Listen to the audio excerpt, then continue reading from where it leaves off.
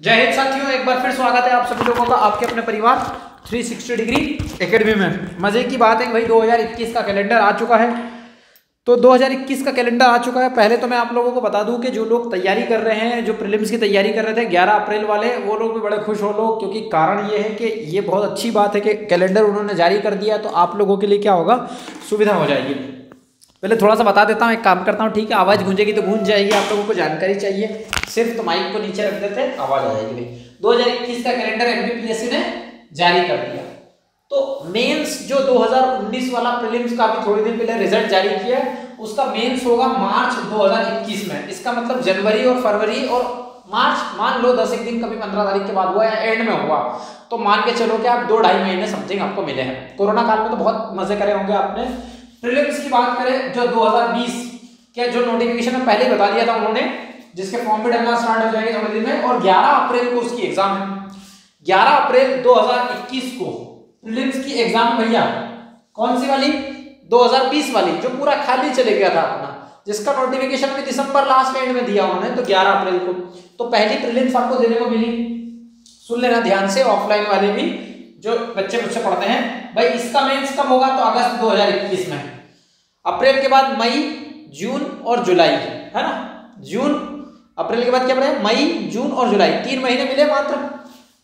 फिर उसके बाद में आपकी प्रीलिम्स की बात कर लेते हैं, अगस्त की समथिंग होगी। और प्रीलिम्स की बात करें तो अगस्त 2021 में मतलब आपको दूसरी प्रीलिम्स देने को मिली।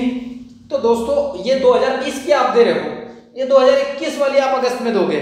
फिर इसके बाद इसका मेंस का कोई कैलेंडर अभी दिया नहीं है। किसका? प्रीलिम्स 2021 अगस्त में होने वाली उसका। अब हम लोग 2022 की बात करेंगे 2022 का प्रीलिम्स तो आप मान के चलिए कि जनवरी, फरवरी के समथिंग की बात है, फरवरी के समथिंग। फिर से आपको एक प्रीलिम्स देने को मिलेगी।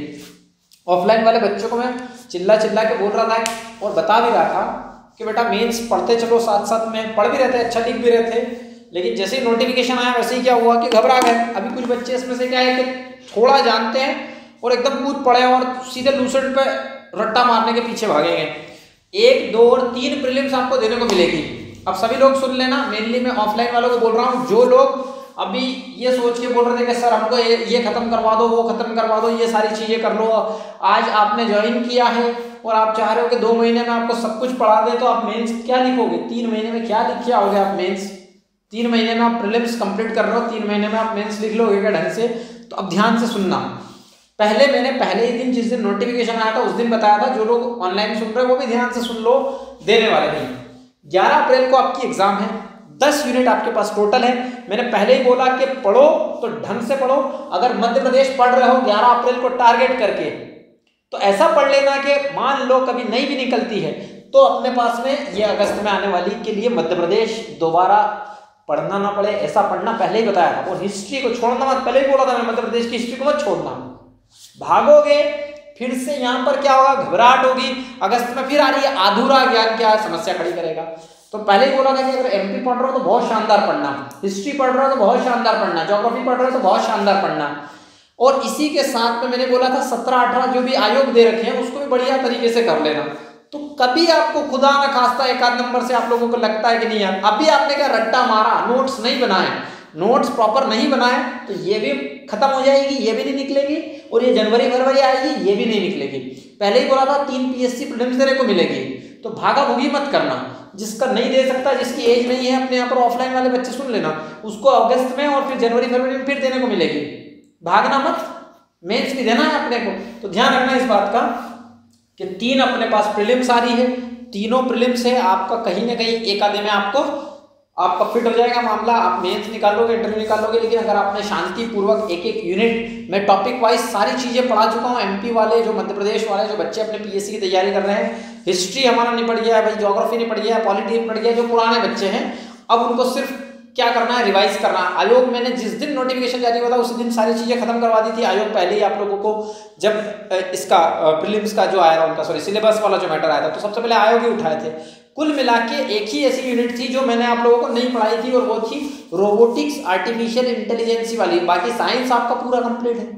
आपने डीप में साइंस पढ़ रखा है। एक जो यूनिट उन्होंने डाल रखी कि उनकी उपलब्धियाँ बताना भैया साइंटिस्टों की जो भी वैज्ञानिक काम हुए वहाँ पर, वो चीज़ें और थोड़ा पोर्शन इन्वायरमेंट वाला। तो मतलब आपको पढ़ना क्या है तीन महीने के अंदर में?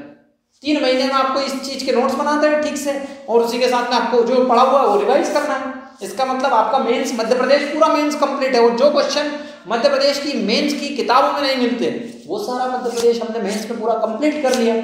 मतलब आप बहुत सेफ़ हो, आपके पास तीन प्रिलिम्स है। लेकिन अगर घबरा गए तो एक भी प्रिलिम्स नहीं निकलेगी। भागा भूगी करी, ठीक से नोट्स नहीं बनाए, कुछ छोड़ दिया। एक जगह प्रॉपर अरेंजमेंट नहीं है किसी भी चीज़ का। आधा इस किताब से, आधा उस किताब से, आधा ये कर लिया, आधा वो कर लिया। प्रॉपर प्लानिंग से नहीं चले तो कुछ भी नहीं निकलेगा। और प्रॉपर प्लानिंग से चले तो तीन में से एक आधा तो हाथ में लड्डू ले ही लोगे। तो दोस्तों, अभी ऑनलाइन वाले जो सुन रहे हैं, वो भी ध्यान रखें कि पढ़ लेना अच्छे से। ऐसा मत करना कि अप्रैल के पीछे भागो, ग्यारह अप्रैल को कुछ भी हो जल्दी जल्दी करके लूसेंट रट्टा मार लिया लूसेंट ऑब्जेक्टिव लगा लिए घटना चक्र ऑब्जेक्टिव लगा लिए इतमान से शांति से पूरा सिलेबस खत्म करो। दस यूनिट तीन महीने में आराम से निपटती है। आराम से, एकदम बिल्कुल शांति से निपटेगी। कोई दिक्कत वाली बात नहीं है। ठीक है? तो मिलते हैं नेक्स्ट लेक्चर में, तब तक के लिए जय हिंद। और व्यापम वाले अगर सुन रहे हैं या पीएससी वाले भी सोच रहे हैं कि सर मध्य प्रदेश की हिस्ट्री और जितनी भी रियासतें हैं, वो सब कुछ एकदम प्रॉपर तरीके से नोट्स में कंप्लीट है, सारी सारी चीज़ें। अगर ऑनलाइन वाले चाहते हैं तो दोस्तों शेयर करते रहिए वीडियो को। आप लोगों की क्लासेस स्टार्ट हो जाएगी, वरना ऑफलाइन तो चली रही है। मिलते हैं नेक्स्ट लेक्चर में, तब तक के लिए जय हिंद।